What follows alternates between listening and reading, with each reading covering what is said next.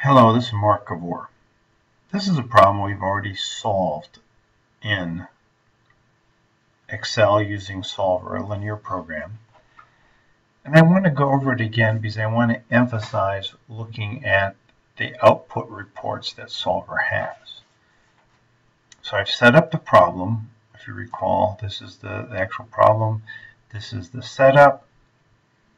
And if I go to Solver and I say please solver solve this problem, it gives me answers. It gives me 1.8 for x1, 20.8 for x2, 1.6 for x3, 268 is the optimal value of z, or in this case, I think they call it p. And I've got my left-hand sides, 55, 55, 26, 26, 27.4, 30, 57, 57. So I can just look at the constraints. I see this is binding because I'm, the left-hand side is equal to the right-hand side. 26 equals 26, that's binding. 57 is equal to 57, that's binding constraint. 27.4 is less than 30, so I have some slack there of 2.6. Now, this is pretty obvious, but if I want to go to answers, sensitivity, and limits, and mostly we're going to use answers and sensitivity, and I keep the order, keep the solver solution, and I just hit OK, it's going to print, give me three more worksheets. Answer report 2, sensitivity report 2, limits report 2. This is for problem 2. It doesn't always, if I run another one, it'll call it answer report 3, etc. I can go here and change these answer report and make it number 1 or whatever I want to do, but that's not the point.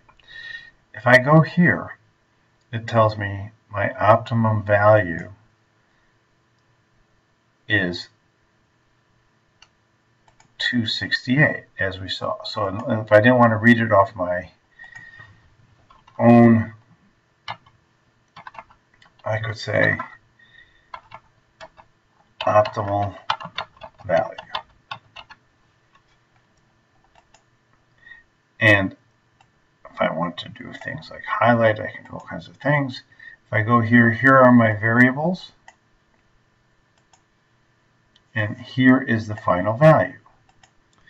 If we go back to the original problem statement, you'll see it's the same, 1.8, 20.8, 1.6, 268 for Z. I go to the answer report. There we are. If I can see which ones are binding, which constraints are binding, 55, 26, and 57 were binding, and the 27.4 was not binding, and there was a slack. That means it was underneath the, the value that was 30. Now, for a simple problem like this, it might I might not have needed that. I could read my answer easily, but this is already in a report format. If I want to come here, I could change the names of the variables to product 1, product 2, product 3, or actually be more specific. I could call the constraints other things and copy paste this to use in a report. So that's where you would find the output and which constraints are binding and which ones are not. If I go to the sensitivity report, I get something else. As you know, I don't like to see decimal places uh, more than two. I don't think we need them for this kind of problem. And when I have something that's e, that's 1 times 10 to the 30th power, I'm going to call it infinity. And here's another variable that has many decimal places. Let's just reduce it to there, and let me let's justify that. Now I have my variable cells, and I have my constraints. I'm making them red just so you can see them a little bit better and make them bigger. You don't have to do this, it's just what I'm doing for this video.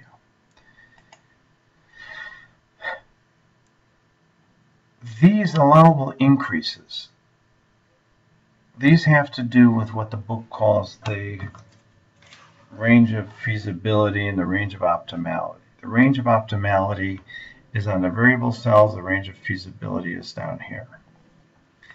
So if I call this range of feasibility.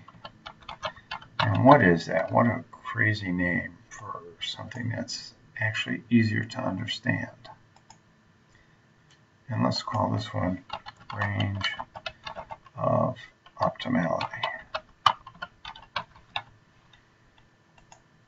The range of optimality says the following. Here's my constraints. I have 20 times x1 plus 10 times x2 plus 15 times x3. That was my original problem. 20 x1, 10 x2, 15 x3. There they are. This says that I can uh, increase 20 by 2.5. I can decrease it by 1.67. And if I don't change anything else in the problem, I will still get this final value. My z value is going to change because I've obviously changed one of the multipliers, but the solution will stay the same. That's called the range of optimality. So if I want to look at it as a lower limit and an upper limit, how would I calculate that? Well, I want to say this is equal to, the lower limit is going to be equal to the current coefficient minus the allowable decrease. So it takes it, it can go from 18.33 to what's the allowable increase. I still say equal the current objective of 20 plus now the allowable increase, which is 2.5. So it says if everything else stays the same and I move this 20 between 1833 and 22.5, I will still get 1.8, 20.8, and 1.6 as the answers to this. So that's the range of optimality for the first variable coefficient. If I copy this down, and again, uh, let's make everything two decimal places, I see the same kinds of ranges. It says like the range of the third variable, the coefficient is 15. It can go as low as 10 and as high as 22.5, and it will still get the same feasible, the same final solution of 1.8, 20.8, and 1.6 for x1, x2, x3. I can't change them at the same time. If I change this, if I change two of them, let's say I take 20 up to 22 and I take 10 down to, to 9, it's no guarantee that this will be the final solution. It's only how much I can vary one at a time without changing anything else. Now the same thing happens for the range of feasibility. there's my still going to have upper lower limit. I'm going to still calculate it the same way using an allowable increase and decrease. And if I just copy one of these and move it all down here, uh-oh, why do I have a value? Because I have infinity there, so let me just call this infinity 2.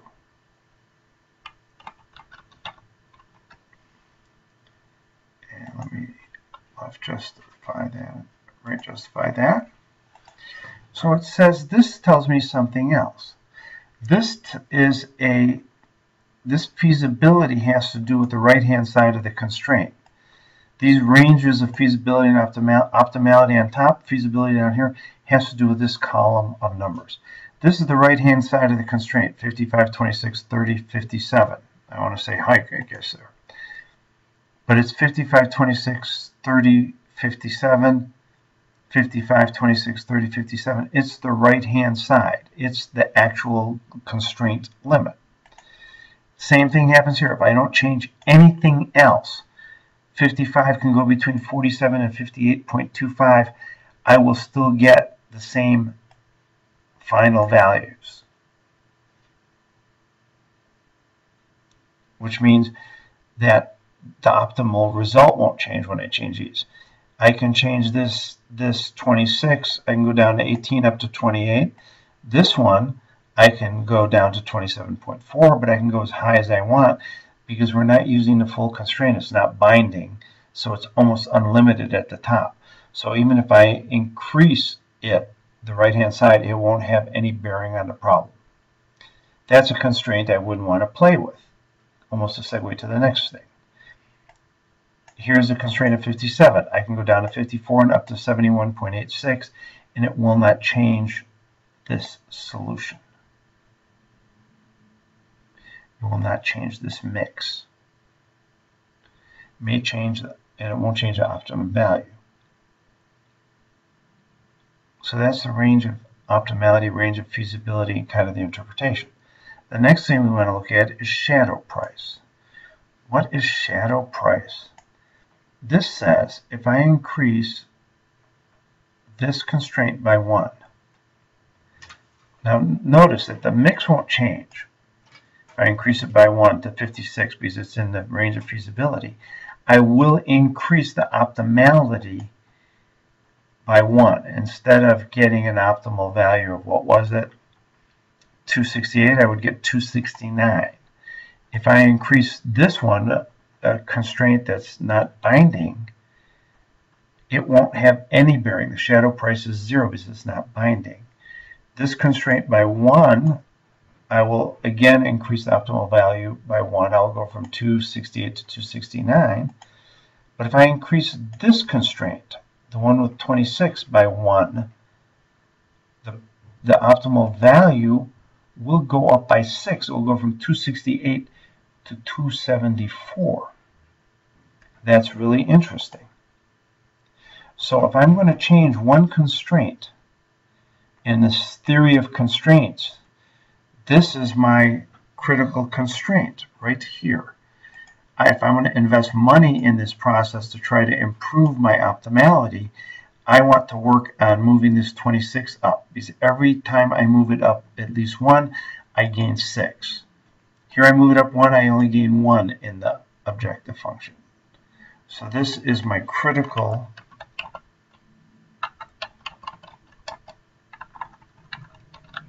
critical constraint.